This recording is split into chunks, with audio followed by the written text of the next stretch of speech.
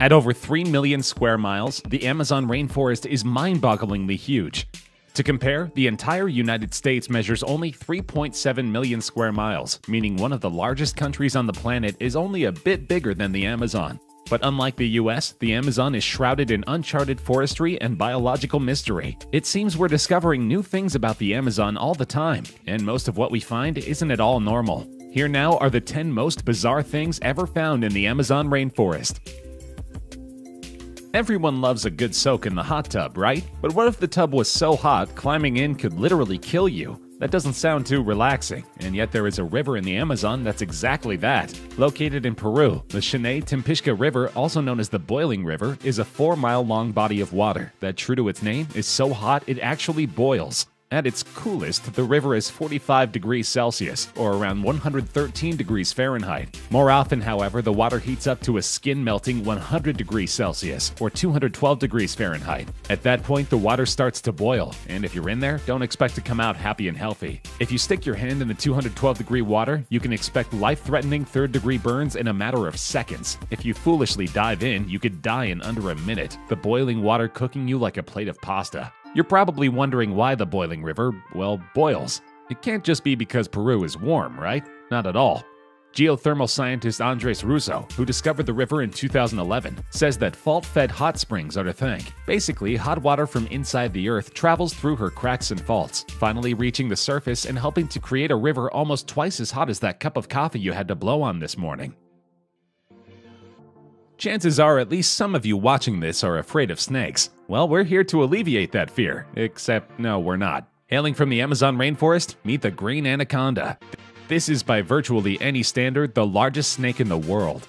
This mammoth can grow anywhere from 20 to 30 feet long and weigh upwards of 550 pounds. Some snakes, like the reticulated python, may be a tad longer than the green anaconda, but Greeny's sheer mass earns it the title of Oh God Runaway Now champion of the snake world.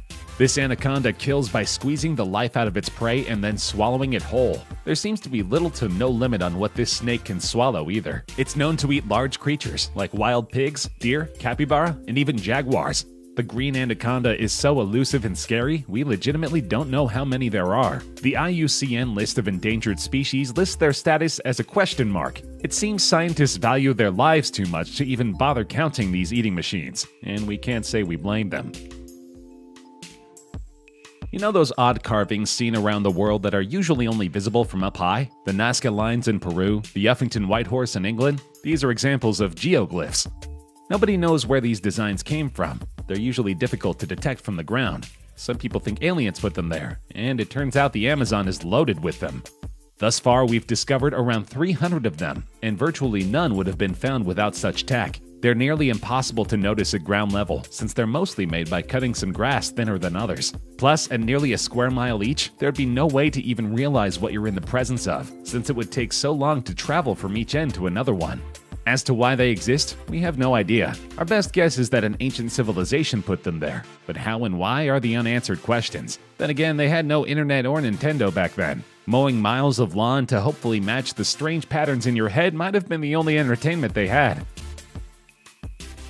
Few things are more unsettling than seeing the insides of an animal's body. It's why dissecting a frog is one of the hardest parts of high school for many a squeamish student. Well, what if we told you there's a species of frog who doesn't need dissecting, because you can see its insides while it's still alive? We're not sure if that'd be better or worse for your stomach, but it's certainly interesting. The glass frog, a native of the Amazon rainforest, has transparent skin around their abdominal area. This means that if you look at one, you can see everything heart, lungs, guts, intestines, liver, and even arteries. This little hopper is a living, breathing biology lesson. Unfortunately, or fortunately, depending on how you look at things, the green parts of their skin are less translucent. So if you were hoping to see a live frog's brain, you're out of luck. Back to the dissection table for you.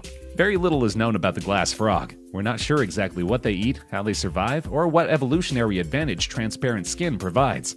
We do know, however, that native people love the glass frog so much, Colombia put one on the back of their 500 peso coin. If only other countries did that with their native oddities. Forget George Washington. Let's see a quarter featuring the star nosed mole. Sometimes scientists that name animals get right to the point, providing names that explain exactly what the animal is and what they do, such as the case with the Goliath bird eater, which is indeed Goliath and which indeed eats birds. Oh, and it's a giant spider, which we imagine is a shock to precisely none of you. The Goliath bird eater is the largest spider on Earth. It weighs nearly half a pound, and its leg span is nearly a foot long. The way they eat their prey, birds or otherwise, is downright horrifying. Since it can't chew solid food, it instead stabs its prey with inch long fangs filled with toxins. This paralyzes the spider's dinner and actually liquefies its insides. Once this ghastly cooking process is complete, the bird eater is free to suck up the liquid innards like a delicious nightmare smoothie. Don't worry, it won't do this to you. Goliath bird eater's toxins are mostly harmless to humans, and the worst that will happen is you'll feel like a wasp stung you. That's certainly not a good feeling, but it's infinitely more preferable to having your internal organs melted into soup for Pennywise's drinking pleasure.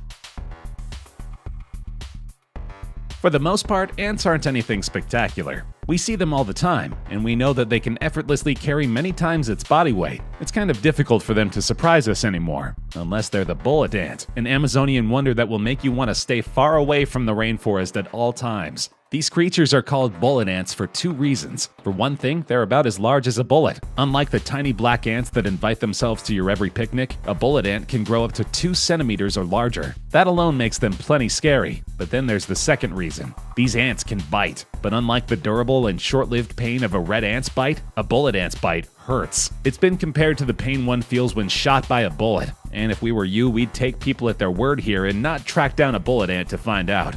The pain is so great, it's earned a unique spot on the Schmidt Sting Pain Index.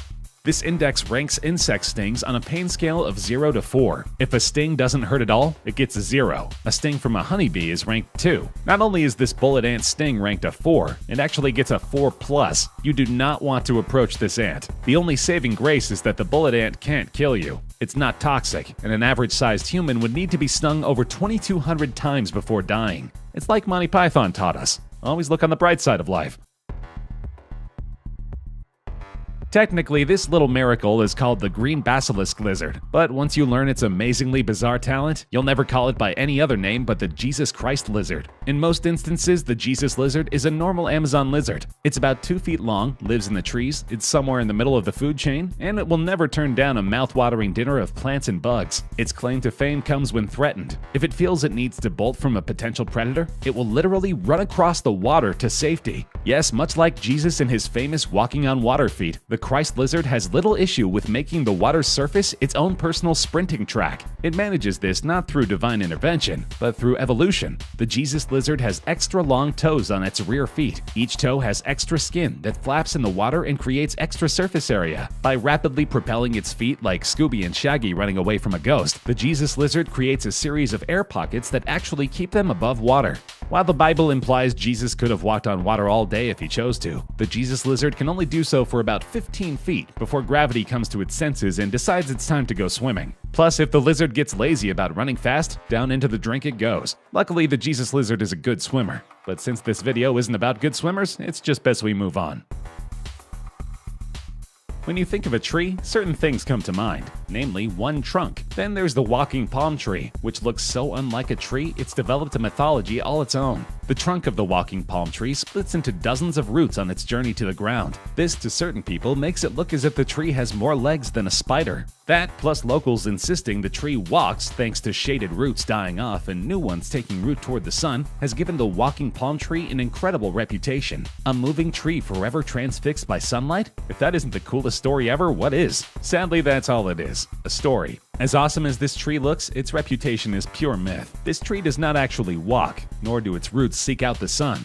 Barring a super cyclone, the walking palm tree lives and dies in the exact same spot it was born in. As bizarre as the walking palm tree is, it won't provide you the walking trees you want in your life. For that, The Legend of Zelda's Great Deku Tree, the Ents from Lord of the Rings, and good old Groot are your only hopes. Once again, fiction saves the day. At first glance, the Jabuticaba may seem downright sickly. After all, it's covered in large, dark lumps that could very well be tree tumors, which are a thing should you wish to be further disgusted today. But luckily for the Jabuticaba, these lumps are not bad things at all. In fact, they're superfruits. This tree is covered in large, grape-like fruits that are completely safe to pick and eat.